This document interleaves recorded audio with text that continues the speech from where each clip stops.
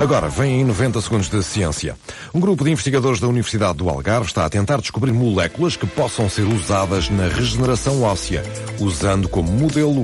o peixe zebra.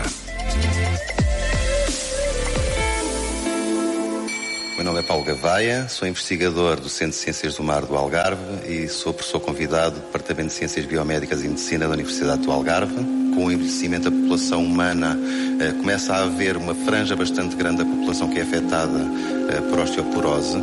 uma vez que os medicamentos atuais não podem ser utilizados por, por, períodos muito prolongados. Existe efetivamente a necessidade de se descobrirem drogas que sejam capazes de não ter tantos efeitos secundários que possam permitir um efeito mais prolongado da sua utilização e que consigam diminuir também o custo do que é o tratamento e a prevenção uh, deste tipo de doenças. Nós utilizamos o peixe zebra como um modelo de desenvolvimento, porque é um vertebrado, tem os ossos que se podem comparar em grande parte àquilo que é o esqueleto humano. Eh, e nós utilizamos o peixe zebra não só para estudar a parte do desenvolvimento do, do esqueleto, como também para estudar as patologias que podem afetar o esqueleto em humanos e utilizamos este peixe para modular e para podermos fazer os estudos em laboratório, utilizando as larvas e os adultos de peixe-zebra.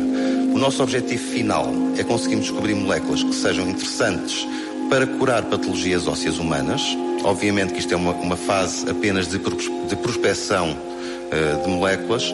mas que nos permite ter uma boa ideia de quais são os possíveis candidatos para depois entrarem num pipeline de desenvolvimento, passarem para modelos mais próximos do humano, como, como o modelo do ratinho, e depois poderem ser testados em condições muito mais semelhantes ao que são as patologias humanas e poderem provavelmente chegar um dia à indústria farmacêutica e chegarem a um medicamento uh, para curar as doenças humanas. 90 Segundos de Ciência é uma produção conjunta Antena 1, ITQB e FCSH da Universidade Nova de Lisboa, com o apoio da Nova Artis. Amanhã o Porto vai estar com